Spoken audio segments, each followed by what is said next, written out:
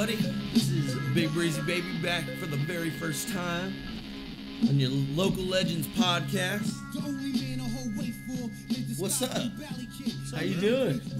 Good morning. How you doing today? So I got a, I got big news. I got the top fan badge Nice. on the Riff Raff Facebook page. What's up? Shout out to my big dog, Dale D'Antoni. You know, you see me working on my million dollar mullet. You know what I'm saying? I see it. Uh, hey, it's summertime, bro. You know, so uh, got a couple of shows coming up. I'm super excited to go see them. So, got a couple of shows coming up. All of them are uh, happen just happen to be at 1904. There's a couple of. I'm looking forward to seeing Mac Sabbath. I know you heard about them. They dress up like Ronald McDonald, Grimace. Uh, I think there's a cheeseburglar in there somewhere, some Fry Kids or something. I don't know, but they play the old Black Sabbath, Judas Priest, fucking uh, Led Zeppelin. I don't know if they do Led Zeppelin. I've actually never seen them live. So it's a cover band. Yeah, kinda. I think they do some Weird Al parody stuff where they put their own words. I'm not too sure. I'm excited to see them. That's on August 20th. They're gonna be there with uh, Okilly Dokilly. If you ever heard of them, they they coined the phrase "Nedal" because uh, they dress up like they all four of them dress up like Ned Flanders and put on like some pretty badass original metal music. They were actually featured on an episode of The Simpsons. You know, instead of the intro where Bart's like skateboarding and writing shit on the chalkboard and Homer, you know, drive whatever. They do it all. Every single episode is always something different or something. Well, they scrapped it and put on the White Wine Spritzer music video, just Wow. like yeah, like a minute clip of the. So yeah, it's excited. They're also playing with a band called Playboy Man Baby. I have yet to hear, hear anything about them. Um, nothing bad. I'm sure they roll with like you know, sound like they got some sort of sense of humor and uh, you know, I like uh, fun metal shows. I went and seen Steel Panther a couple months back when Mavericks closed, and uh, it was like the day before they closed, before all the fights and stuff. There was no fights. You know what I mean? I know all y'all heard about that, but uh, so yeah, they were fun, dude. Cracking jokes throughout the whole thing, all glammed out back in Mavericks, and I, I'm hoping like you know this Mac Sabbath show, they got some sort of sense of humor to them. You know what I'm saying? All the good bands, dude, are like half band, half stand up comedians. Right. The- all the class. Just look at Blink 182. You know what I mean? You ever been to a show? Eminem. Oh, Back really? in the day, Eminem. Oh yeah, yeah, Comedian. yeah. I mean, them he's got punchlines shout out like, Eminem. He's got some good stuff. Yeah, I Got a lot of feel you. Yeah, and he was listen, and he was on. uh He he was on Funny People, and like the interview, and some of his parts in these comedies, like these Hollywood comedies or whatever, some of his parts are the funniest part of the whole damn movie. Yeah. I remember talking about him coming out as gay. He's like, "What? I've been leaving." Yeah, that was um, little homosexual breadcrumbs. Yeah, yeah, I remember that was in that uh, James Franco movie. yeah, the interview. Yep. Okay. Yeah, yeah, peanut Okay. butter and jelly. That was a good one. If you ain't seen it, Amazon Prime that shit.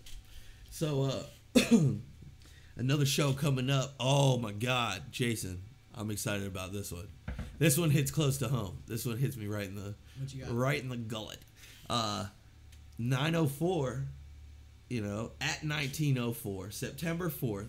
It's uh dubbed Duval Day. You know, if you're from Jacksonville, the area code is 904. So September 4th, 1904 is putting on a show of local homegrown talents, whole wheat bread, you know, living legends, whole wheat bread. I seen them one time at Rock and Roll Pizza. It was also called the Imperial. I remember Rock and Roll Pizza. And they yeah, they played with Against All Authority. They opened up for Against All Authority. And dude, those are some of the best shows. You know, the music was so goddamn loud that like you left with Mm-hmm. you couldn't hear the next morning and shit. who else is on? Who else is on this uh, ticket? Oh, uh, we got Rob Roy.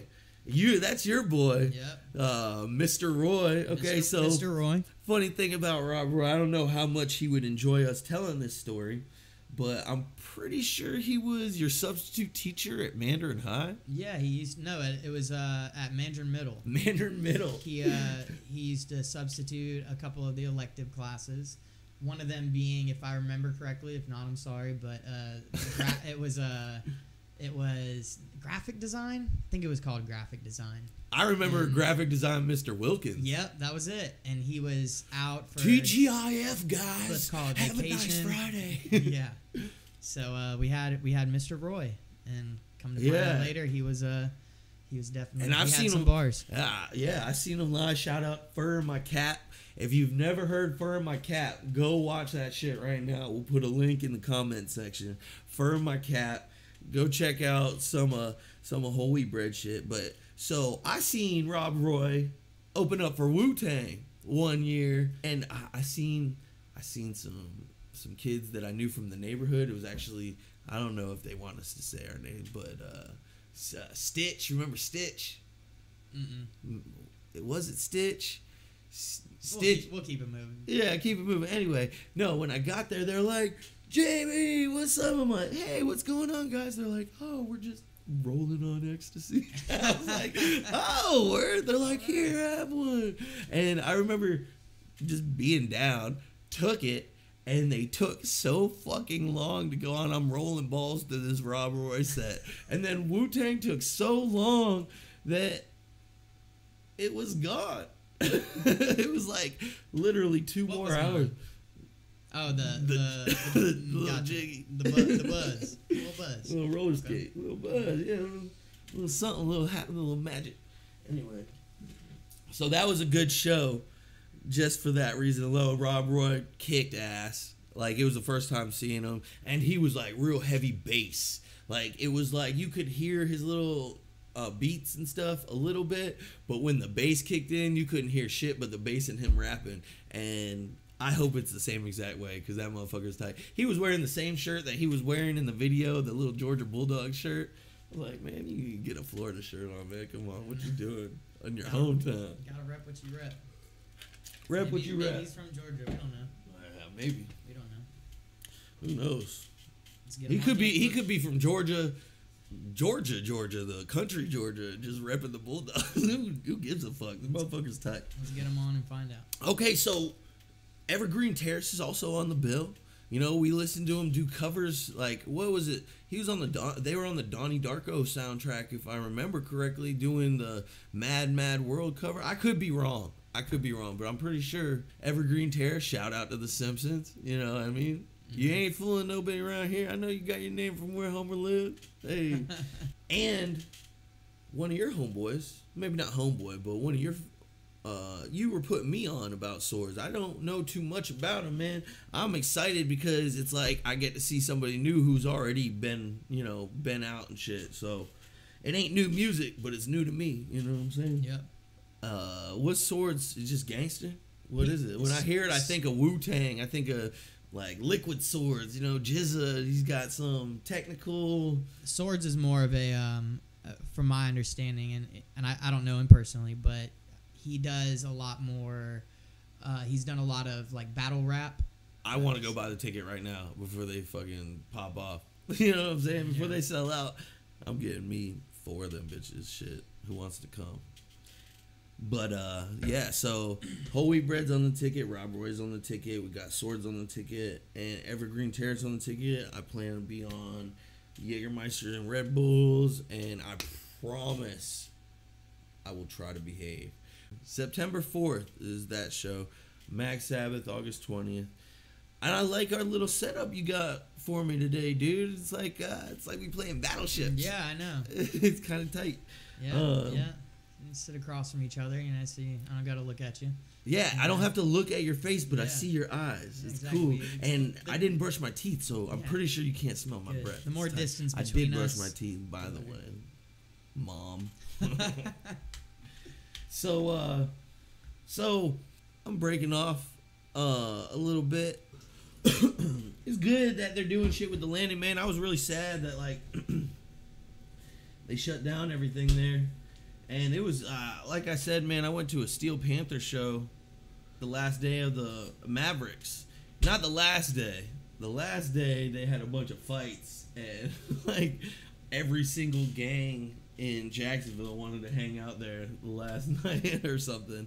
But uh the night before that or like the event before that was a Steel Panther show, and they were there with a band called Wilson, and they were good. They were good. Steel Panther rock, and uh, real funny.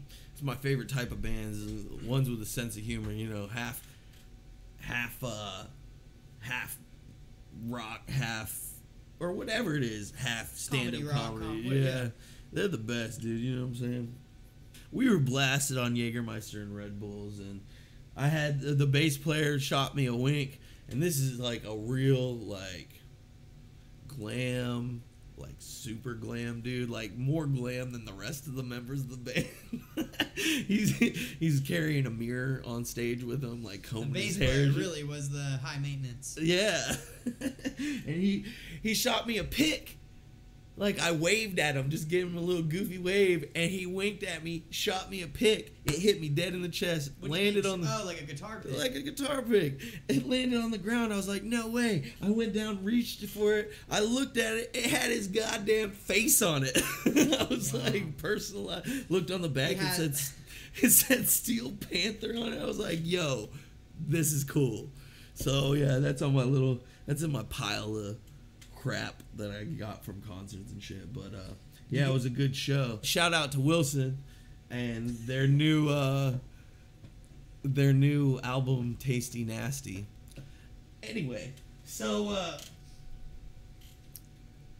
yeah, so sad, man. Maverick shut down. Like I seen a couple of good shows there. I remember seeing uh, NOFX back in the day. You know, and this is like kind of the Wildland days, and there was like definitely extracurriculars involved. And I remember getting in there, and like they had just went on. They were like two minutes into their set, so we were kind of late because we were off in the parking lot fucking around. And uh, I went there. I ordered two beers right off rip. I went right into the went right into the mosh pit, and somehow, oh, I, I remember pounding the one beer and then holding the other beer up over my head, getting slammed around. But somehow it made it, bro. like I got to finish the it to the last drop. Yeah. True Florida man. Yeah. True Well, Florida. and I remember like I was like, yo, this is a little crazy. I back away from the mosh pit, like out in the outer ring or whatever. Finish it up. I like pound the last of it. I go into the mosh pit like I'm about to do something, and then my like stomach was like, oh hell no. And dip right back out. I'm trying to trying to sneak to the front a little bit more, see Fat Mike play, but I'm not trying to get kicked in the face. Who's Fat Mike? Yeah. He didn't hear about that. Mm-mm. So one of his fans, I guess, uh, went on stage, go holler at him, or tried to get on stage. Dude kicked him in the face, true punk fashion. Yeah, Jason looks real serious right now. Yeah, that happened. But guess what? There was good news. He apologized. Not only that, but the good people at Fat Wreck Chords and NOFX and Fat Mike himself, probably his PR, invited the kid backstage to kick him right in the nuts. no way. yeah, the kid was a. I seen a video clip of it back uh, back in the day when it happened, and the kid was a real good sport about it. He didn't lay into him at all. He gave him a little tap on the sack, a little, uh, and they they had shared a hug about it and a good time. Well, imagine, could you imagine going to one of your shows and like you know, NOFX have been around for a long time. I know he's always been one of my not heroes, but definitely musical influence, like greatest punk band ever. You know what I mean, all around.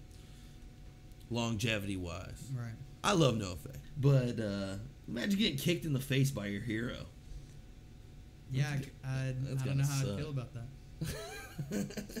you go to what is Who- it, who Circa I- Survive, and he just spits on you and punches you in your grill. it's like, but I got to hang out with him a week later. It was kind of, I don't know how my ego felt about that, but it was still tight. He signed my shirt. They had a bunch of good little venues around there. They had 618. Before that, it was the Milk Bar. I remember seeing the Bloodhound Gang. I snuck in when I was like 14 years old, and I I think it was 18 and up. Might have been an all ages show, but it was definitely one of my first concerts, um, and it was awesome. And then Imperial was right down the road on Forsyth. Uh, turned into rock and roll pizza. You know, I remember going to see uh, Leftover Crack there one day. We were just talking about whole wheat bread. I seen them open for Against All Authority, and they had the guitar player for F minus there. It was tight. Um, yeah, man, that whole uh, that whole '90s skate punk, all that shit, dude, that hits me right to the fucking bone. So we drank a handle of Jägermeister, which is never a good idea. And we were like partying off of it, and they were doing no smoking inside at this point, so it was like free re-entry. So we were going back and forth, taking shots out the trunk when we were. I think it was the super. It was a super villain show, and either Bubbly Joe. I think it was Bubbly Joe and super villains. Uh, shout out to Colin Patterson, uh, Brian Roy, all them, Scart Dom. And uh, so I think I might have forgot that somebody gave me something earlier in that morning. Because that Jägermeister hit excruciatingly fun. I remember falling in some rocks and laughing my ass off about it. But yeah, I ended up getting kicked out about seven times that night. And towards the end of the night, the bouncer was done with me. He had me stand right next to him. He's like, I know you're just going to keep coming back in here, so you need to stay right here. You can enjoy the show from right here. I was like, thank you. I was just so fucked up. I was like, thank you. but like I said, shout out to the good people at Jackrabbits, man. Anybody else, they would have called the cops on that motherfucker. But, um, yeah, man, a lot of good times in Jacksonville. Everything keeps shutting down, though. Like Freebird. Yep. Rest in peace, Freebird. Rest in peace, Mavericks. So what are the good uh, what are the good new venues now? I know the the pit is still opened up over there on um Is it? It used to be on Beach Boulevard, right? Yeah. And now it's over on Brewster's. It was Yeah. Brewster's the Yeah. pit. Yeah. Now it's now it's over on the Pit Megaplex, I think is what it's called. Is it in I- the same spot? No, they moved it over towards I believe like University area Huh. because I know that you know when I was younger I played a lot of shows at Brewster's Pit when it was just a little hole in the wall before they even renovated it. And then they eventually they they moved and the one of the last bands I played in we we played a Battle of the Bands gig and it was Yo. it was all at um, the new Brewsters, which was pretty nice venue. It was pretty big, and um, you know, which makes us look more modest when uh, you know, you play with our fan base in a large venue. It doesn't look good on us, but you know, we had a we had a good time, and I'm just wondering if, you know, if they're. I'm pretty sure they're still they're still around, and what other venues people Well, go to. I just uh, took a little. 1904 clearly has has been getting a lot of the best shows that I've seen. Yeah. Shout out to Jason Honeycutt doing big things for Jacksonville. But yeah, I just took a peep real quick on the old Google. And uh, Brewster's Megaplex events, concerts in Jacksonville. They're located um, off 845 University Boulevard. Yep. That sounds so familiar. I want to say, was that plush? Yeah, it's right. It's still there. It's still right next door. Yeah, yeah. So right now it's uh the pit, the rock bar. It says Brewster's Megaplex is the pit, the rock bar, the edge, and lava. So the edge, I remember back in the day it used to be called Edge 2000. And that was before it was before it turned into plush. I remember seeing Insane Clown Posse there one time. Shout out to ICP. as silly as that sounds. hey, we're not gang affiliated on the show Oh, though, no. so yeah, yeah, We yeah. support. We support anyone. all music. But uh, yeah, I think that about wraps it up this time around. Uh, I gotta get back home to my baby mama before she thinks I'm fucking other bitches. so uh, yeah, stay tuned. Smash that like button. Smash the subscribe button. Um, hit me up. Squirm Della Squirm on Instagram. Oh yeah, I do gotta mention that we were talking about 90s skate punk. I gotta throw a shout out to my own company, starting up and launching pretty soon. Squirm. It's going back to the old roots like World Industries, hookups, Alien Workshop, those like one panel t-shirt presses, you know what I'm saying? And I'm not gonna skimp on the fat kids, man, because I remember you always going into Pacific Sunwear or uh, or Wet Seal back before it was just a chick place, and they'd never have like you know fat kid love. They never have double XLs or triple XLs. So you know we keeping it all sizes, and uh, going back to the roots of the old world industries, hookups, uh, shorties, um, prime, all the think blind, and taking that we're not stealing, but that's the type of shit that we're bringing back. You know, Didn't sound too influenced influenced by the music or whatever. Please don't send me cease and desist orders. Um, but yeah, Squirm, Squirm Della Squirm on Instagram. Uh, follow us at Duval's Own Local Legends on Instagram. Any questions, comments, concerns, send it to Duval's Own Local Legends at gmail.com. All this shit should be down there, down at the bottom. You'll see it. Holla at us next time. Jason, you got anything to add? That's it, man. Appreciate you coming out today. Yeah, man. Thank you guys for listening, man. And uh yeah, tell all your friends, dude. trying to feed our family. Have a good one. Yo, who whole platoon is filled with raccoons? Corner sitting wine, niggas sipping apple. This ain't a white cartoon, cause I be ducking crazy space. The kid hold white shit like blacks rock ashy legs. Why is the sky blue? Why is water wet? Why did Judas rat the Romans while Jesus slept? Stand up,